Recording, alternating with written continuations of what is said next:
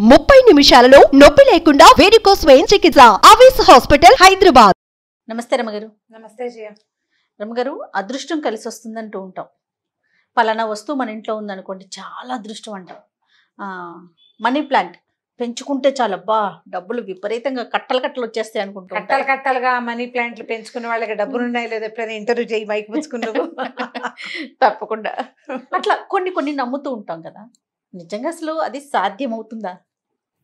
అదృష్టాలు వస్తువుల్లో కానీ వేట్లలోనా ఉంటాయో ఉండవో. ఉండవు.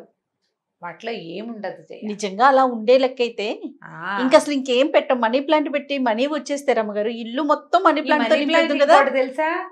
ఎవరింటికైనా వెళ్ళినప్పుడు వాళ్ళకి చెప్పకుండా రహస్యంగా కోసేసుకోవాలి. నాకు ఒక మనీ ప్లాంట్ మొక్క ఇవ్వవా అని ఒకళ్ళని అడిగితే చెప్పకుండా కోసేసుకోండి. ఎందుకు చెప్పకుండా అంటే చెప్పి కోసుకుంటే కుదరదుట. వాళ్ళు ఇవ్వకూడదుట. ఏమిటి ఒక మొక్క పచ్చటిది ఇంత కొమ్మ ఇస్తే నొప్పి మనకి? ఏం పోతుంది మన దగ్గర? మన డబ్బులు పోతాయా? వాళ్ళకి వెళ్ళిపోతాయా? అంతే అంతేనట. నేను విన్నాను నన్ను. అడక్కు నీకు కావాల్సింది కోసుకో అని చెప్పింది మా అక్కయ్య గారు కోడలు కూడా. నువ్వు కామ్గా వెళ్ళేటప్పుడు కోసుకో. నన్ను అడగబోక. ఇంటికి తెచ్చారా లేదా? అడగకూడదు కోసుకోకూడదు. ఆ, అడగకుండా ఏం కోసుకుంటాను మనిషి నేను తెచ్చిస్తాను రమ్ గారు మీకు మనీ ప్లాంట్ తోటి మా ఇంట్లో మనీ ప్లాంట్లు బాగా రావు చెయ్య నేను ఎవరింట్లో మనీ ప్లాంట్ చూస్తే నాకు ఆశ్చర్యం కడుతుంది ఏమిటి వీళ్ళు ఎలా పెంచుతున్నారు నేను నాకు మెంతులు కొత్తిమీరలు అవి బాగానే వచ్చేస్తాయి. అవునా? మెంతులు కొత్తిమీర ఇప్పుడు మైక్రో గ్రీన్స్? బాక్సులు నిండా. మీరు చెప్పిన తర్వాత అంతకు ముందే నేను మన రైతులో చేశాం కదా పెట్టాను. మెంతులు రాలేదు రమ్మగారు నాకు ఆవాలును శనగలు ఇవన్నీ వచ్చేసినాయి. మరి ఏదో మిస్టేక్ చేశాను. అనిపించింది ఆ నాకు. మెంతులు కొంచెం మారిపోతుంటాయి ఆవిడ ఎవరిదో ఒక వీడియో ఉంది. మెంతులు పడిపోతున్నాయా? మెంతి మొక్కలు ఇలా చేయండి ఎలా చేయాలో వినలేదు. అది మాత్రం నేను ఓకే. రైట్. చచ్చినా నాకు మనీ ప్లాంట్ రాదు. అవునండి. నేను ఇస్తాను ట్రై చేయండి ఇంకోసారి. సరే చూద్దాం. నేను ఎప్పుడు నీటిలో పెడతాను ఎంత పెట్టానో అంతే సంవత్సరమైన అలాగే ఉంటుంది అది. అది ఏం అవ్వదు పెరగట్ల. అది పెరగదు తరగదు అలాగే కూర్చుంటుంది. ఏమిటో మరి నా డబ్బులు కూడా అలాగే ఉన్నాయి ఏమిటో? ఏమో మరి. ఏమీ లేదు. అవన్నీ మన తాలూకు ఉద్దేశాలు. ఏంటంటే మన ఇంట్లో ఒక మొక్క ఒక వస్తువు ఓ దేవుడి పటం మన వాకిలి గుమ్మానికి పసుపు ఇవన్నీ మనకి ఒక పాజిటివ్ ఎనర్జీని ఇస్తాయి. సంతోషాన్ని ఇస్తాయి ధైర్యాన్ని ఇస్తాయి జీవితానికి. ఇప్పుడు ఏదైనా డబ్బు సమస్యల్లో ఉన్నారనుకో మనం కొన్ని కొన్ని దేవుడి పుస్తకాలు అట్లా చూస్తుంటామా? వాకిట్లో రెండు పక్కల రెండు బొగ్గు ముక్కలు పెట్టండి దురదృష్టం బయటికి వెళ్ళిపోయి అదృష్టం వస్తుంది. దాని సంగతి ఎట్లా ఉన్నా రోజు బొగ్గులు ఉడుచుకోవాలి అది ఒకటి ఉంటుంది. ఆ వాకిలి గుమ్మం పక్కన అటు ఇటు రెండు చుక్కల పాలు పోయటం లక్ష్మీప్రదం లక్ష్మీదేవి వస్తుంది. పాలు క్షీరసాగరంలోంచి పుట్టినవి. అంటే అమ్మవారు జన్మించిన విషయం. నేల మీద పోస్తే ఇట్లా నువ్వు తొక్కే చోట చెప్పులు పెట్టుకునే చోట? ఏమిటో ఆ కాన్సెప్టే అర్థం కాదు నాకు. ఇంకా అదృష్టం వస్తాయని అవేవో పెట్టుకోండి పర్సులు ఇవి పెట్టుకోండి గుమ్మానికి అవి తగిలించండి. వాకిట్లో విన్షన్స్ టింగ్ టంగ్ టింగ్ టంగ్ సౌండ్స్. వచ్చేవి. విరక్తి వస్తుంది. రాత్రిపూట ఎప్పుడైనా గాలి వస్తే ఆ టింగో టంగో టంగో అని మోగి దాన్ని విరక్కొట్టి పారేద్దాం అనిపిస్తుంది. దానివల్ల వచ్చే అదృష్టం ఏముందో తెలియదు కానీ విసుగు ఎక్కువగా ఉంటుంది. అదృష్టాలు వస్తువుల్లో లేవు. విలువల్లో ఉన్నాయి. విధానంలో ఉంది. ఇవి రెండు సరైన ఉంటే ఆటోమేటిక్గా వచ్చేస్తాయి. ఒక మంచి పాత కథ ఒకటి ఉంది చెప్తాం చూడు. ఎవరి అదృష్టం వాళ్ళది. మనం చెప్పలేకపోతాం కదా. చెప్పలేము మనం. అంతే కదండి. ఒక ఊళ్ళో ఒక ఆయన ఉండేవాడు. ఈయనకి కాస్త ఏదో కొద్దిగా పొలం ఉంది కాసిన గేదెలు గొడ్లు అవి ఇవి ఉన్నాయి. ఏమిటో పెద్దగా కలిసి రావట్లేదు డల్గా దీనంగా ఉండేవాడు. ఆయన ఫ్రెండ్ ఒక ఆయన వచ్చాడు. ఈ ఫ్రెండ్ వచ్చిన ఆయన ఎవరు? వాళ్ళకు ఒక మేనబావ దూర బంధువు. అయితే సరే ఏమన్నారు? ఒకళ్ళ కష్టాలు ఒకళ్ళు చెప్పుకున్నారు. ఏముంది? మీ ఊళ్ళో ఎలా ఉంది? మీ ఊళ్ళో ఎలా ఉంది? పంటలు బాగా పడితే ఆ ఏం పంటలు రా బాబా? ఏది పెద్దగా వ్యవసాయం కూడా కలిసి రావట్లేదు. గొడ్డు గోదా ఉన్నా ఖర్చులకు సరిపోతున్నాయి. ఏమీ డబ్బులు పెగలటం లేదు ఏమీ లేదు అన్నాడు అని చెప్పాడు. ఈ ఊళ్ళో ఉన్న ఆసామి.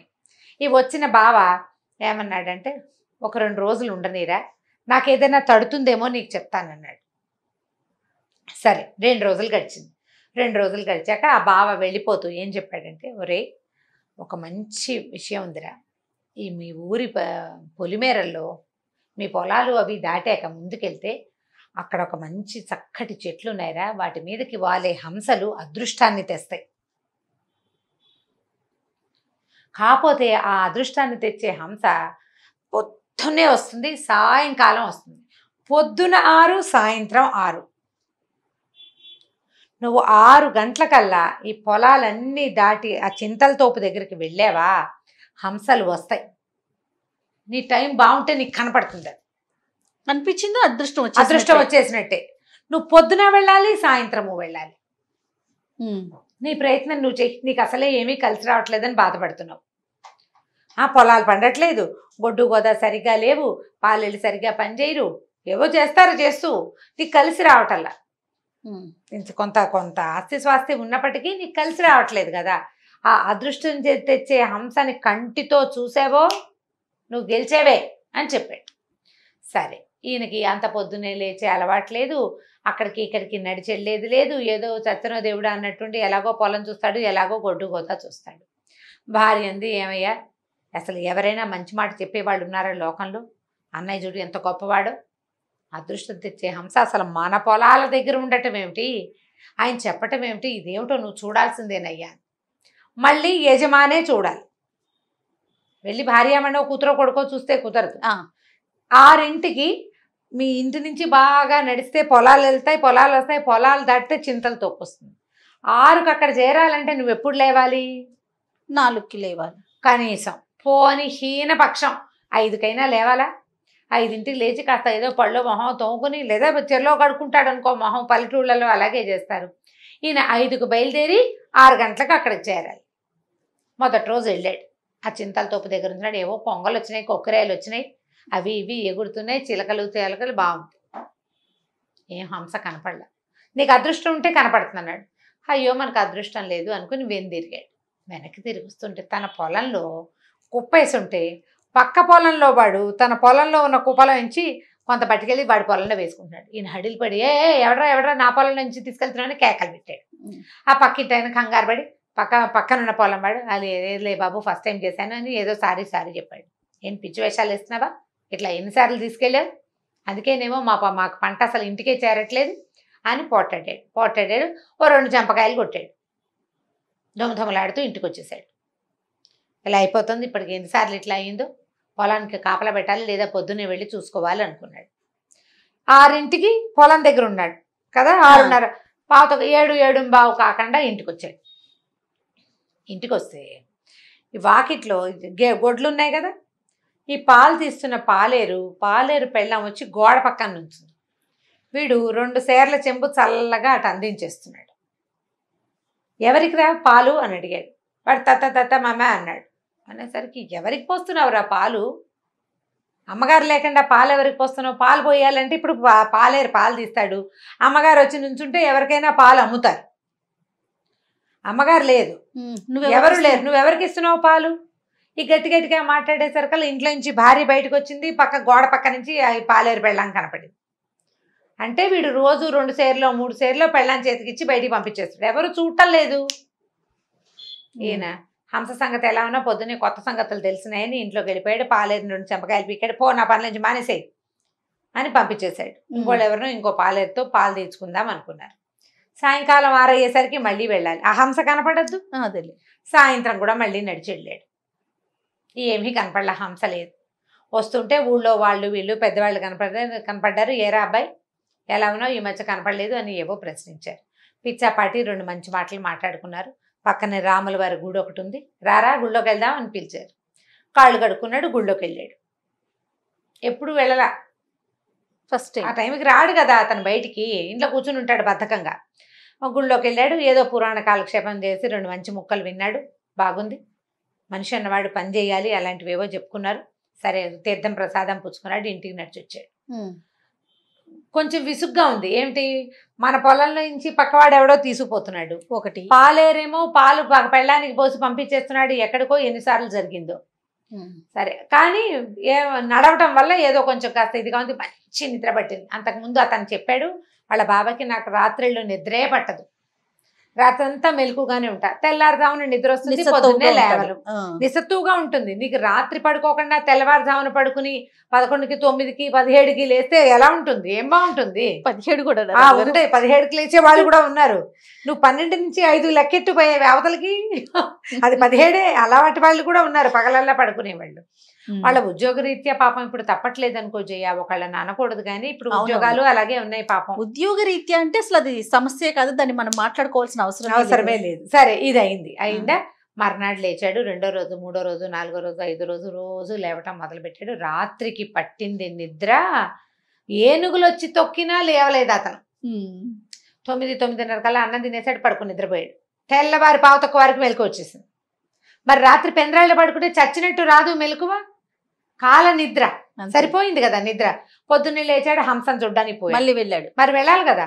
అక్కడి నుంచి రెండో రోజుకి అతనికి ఏం తెలిసిందంటే తన పొలం గట్లు ఇదివరకు అంటే నడిచి వెళ్తూ ఉంటే సడన్గా పక్క వాళ్ళ పొలంలోకి వెళ్ళిపోయిన ఏమిటా అని చూసుకున్నాడు. చూస్తే తన దారిలో తన గట్టు అవతలకి జరిగింది. అంటే తన పొలం చిన్నదైపోయి పక్కవాడి పొలం పెద్దదైపోయింది. ఎలా? నువ్వు చూసుకోవట్లేదు వాడు జరిపేశాడు. అంతే. అక్కడి నుంచి చర్చలాడుతూ మళ్ళీ ఊళ్ళోకి వెళ్ళి పెద్దవాళ్ళు ఇద్దరు ముగ్గురు పిలిచి నా పొలం గట్లు జరిపేశారు మా పక్క పొలాల వాళ్ళని వాళ్ళతో చూసుకుని ఎవరినో పిలిచి వాళ్ళని కొలతలు వేయించి మళ్ళీ పొలం గట్లు సరిచేయించాడు. సాయంకాలం మళ్ళీ వెళ్ళాడు గుళ్ళోకి వెళ్ళాడు. పొద్దున వెళ్తున్నాడు సాయంత్రం వెళ్తున్నాడు పొద్దున వెళ్తున్నాడు సాయంత్రం వెళ్తున్నాడు. ఈ పొద్దుటి పూట వెళ్ళటంతో ఏమైంది? పొలంలో పాలేళ్ళు కూలీలు తొందరగా రావటం లేదు. తొమ్మిదైనా ఎవరు పనిలోకి దిగరు. తొమ్మిదింటికల్లా పనిలోకి దిగి సాయంత్రం ఐదింటి దాకా చేయాల్సిన వాళ్ళు పదకొండుకి దిగుతారు మూడుకి లేచేస్తారు. కూలీ ఏమో రోజు కూలీ ముట్టిపోతుంది. వాళ్ళు చేయాల్సిన మూడు రోజులు చేయాల్సిన పని ఏడు రోజుల కూలీలు ముడితే కానీ పని అవ్వదు. అవన్నీ సెట్ అయినాయి. ఒకటి ఒకటి ఒకటి చొప్పున. ఎందుకు? పొద్దున్నే పొద్దున్నే లేచి ఈ హంసని అదృష్టపు హంసని వెతకడం కోసం తిరిగి తిరిగి క్రమంగా ఏం తెలుసుకున్నాడంటే ఇతను తన అలసత్వము లక్ష్యం లేని తన మనస్తత్వము వల్లే తనకు సమస్యలు ఉన్నాయని అనిపించింది. ఒక నెల నెలన్నర గడిచింది. నెల రోజులు గడిచాక ఈ గేదెల దగ్గర కూడా ఇంకేముంది? పొద్దున్నే పని అయిపోతుంది. నడిచి వచ్చేస్తున్నాడు. పాలేరు రాకపోతే నేనే తీసుకుంటా పాలు. పాలేరుకి ఇచ్చే జీతం కట్టు. అది మిగిలిపోతుంది. ఆయనే పాలు తీసుకుని అమ్ముకోవటం మొదలుపెట్టాడు. గేదెల్ని చక్కగా యజమానే చూసుకునేసరికల్లా వాటికి తిండి తిప్పలు బాగా అంది. బోల్డ్ పాలు ఇబ్బడి ముబ్బడిగా పాలు ఇస్తున్నాయి డబ్బు కనపడుతోంది. ఒక నెల రోజులు గడిచిన తర్వాత ఆ బావగారు ఊరు నుంచి వచ్చారు. ఓ ఏమయ్యా బాబా ఏదో అదృష్టం తెచ్చే హంస అన్నావు. హంస కనపడలేదు బావా. దానికి ఏదైనా ప్రత్యేకమైన మంత్రం ఉందేమో? ఆ మంత్రం ఏమిటో చెప్పు. లేదా ఎవరైనా గురువుగారి దగ్గర ఉంటే కనుక్కుందాం అన్నాడు. అనేసరికల్లా ఆయన అన్నాడు ఏం కావాలి నీకు మంత్రానికి? నీ మొహం చూసుకో అద్దంలో. నెల క్రితం నువ్వు ఎలా ఉండేవాడివి? జిడ్డు ఓడుతూ నిద్ర మొహంతో ఉండేవాడు ఇప్పుడు చూడు ఈ నెల రోజులు రెండు పూట్ల చేసిన నడక ఫలితం నీకు ఆరోగ్యం బాగుపడింది. నీ నిద్ర వేళలు సరిపోయినాయి. నీ పొలం గట్లు సరైనవి నీ పొలంలో నుంచి పక్క పొలంలోకి నడిచి వెళ్ళిపోతున్న పనులన్నిటినీ వెనక్కి తెచ్చుకున్నావు. పాడి బాగుంది. పాడి బాగుంది. పాలేరు ఖర్చు తగ్గిపోయింది. చక్కగా దేవాలయానికి వెళ్తున్నావు. సహాయిగా నిద్రపడుతుంది. పొద్దున్నే లేస్తున్నావు. ఆరోగ్యం బాగుపడింది. ఇదేనయ్యా నీ అదృష్టం తెచ్చే హంస?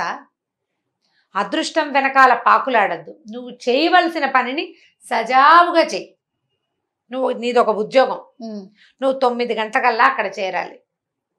తొమ్మిదికి చేరాలంటే తొమ్మిదికి బయలుదేరకూడదు. ఎనిమిదికి బయలుదేరాలి. ఎనిమిదికి బయలుదేరాలంటే ఆరుకి ముందు లేచి ముందు లేచి నీ వ్యవహారం అంతా చేసుకుని నువ్వు వెళ్ళడానికి సరిపడా ఏర్పరచుకుంటే అప్పుడు తొమ్మిది తొమ్మిదింటికి జాబ్ అయితే పావు తక్కువ తొమ్మిదికి నువ్వు నిద్రలేస్తే నువ్వు ఉదయకాలం పనులు ఎలా అవుతాయి? కనీసం బాత్రూమ్కి వెళ్ళే పని కూడా అవ్వదు కదా? అంతేగా. ఒక పని చేయాలంటే దానికి అదృష్టం కాదు నీకు కావాల్సింది. దాని మీద ఫోకస్.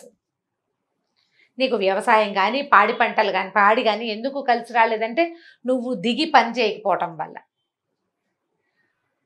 నీ అదృష్టం తెచ్చే హంస నీ నడకే. హంసలు ఏమి ఉండవు. హంసలు ఎక్కడి నుంచి వస్తాయి? ఈ పచ్చిగాల్లో పొద్దుటి పూట శుభ్రంగా నడవటం వల్ల ఆరోగ్యానికి ఆరోగ్యం ఐశ్వర్యానికి ఐశ్వర్యం. బాగుంది కదా? ఉంది. నాలుగు రోజుల్లో ఆయన మొదట కష్టం తోచింది కానీ మెల్లిగా ఆలోచించుకుంటే దీనివల్ల తనకి వనగూడిన ప్రయోజనాలన్నిటినీ ఆలోచించుకుని ఇదే మంచి మాట అని తెలుసుకుని ఇక అప్పటి నుంచి తన జీవితాన్ని ఈ నిద్రకి మంచానికి బద్ధకానికి అంకితం ఇవ్వకుండా ఈ ఈ పనిలోనే ఇట్లా ఏ పని చేయటం వల్ల తన జీవితం బాగుపడిందని అర్థం చేసుకున్నాడు. అదే పని చేస్తూ అదృష్టాన్ని తెచ్చుకున్నాడు. అదృష్టం పనిలో ఉంటుంది. క్రియాశీలకత్వంలో ఉంటుంది. పని చేయాలనే దృక్పథంలో ఉంటుంది. చేస్తూ ఉంటే కలిసి వస్తుంది చేస్తూ ఉంటే చేత అవుతుంది.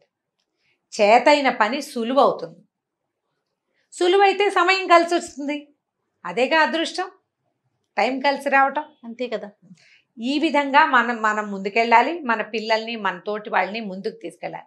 లక్కీ చమ్స్ ఏవి ఇంట్లో పెట్టుకున్నా వాటి వల్ల మనకి వనకూడదు వాటి మీద ఉన్న నమ్మకం వల్ల వనకూడుతుంది ఏదైనా. నిన్ను నమ్ము నువ్వు. నిన్ను నమ్ము. నిన్ను నువ్వు నమ్మించగలిగేంత అద్భుతమైన పద్ధతిని నువ్వు కల్పించుకో నువ్వు నేర్చుకో. ఆటోమేటిక్గా జీవితం బాగుపడుతుంది. మన జీవితం మన తోటి వారి జీవితం. అంతే. ప్రపంచం మారిపోతుంది. అంతే కదా మన పద్ధతులు మార్చుకోవాలి. అదే మన అదృష్టం. సూపర్. సూపర్ రమ్మ గారు. బాగుంది కదా చాలా బాగుంది. నమస్తే అండి. నమస్తే. ఈ వీడియో కనుక మీకు నచ్చినట్లయితే లైక్ చేయండి షేర్ చేయండి. మరిన్ని వీడియోస్ కోసం మా ఛానల్ని సబ్స్క్రైబ్ చేసుకోండి.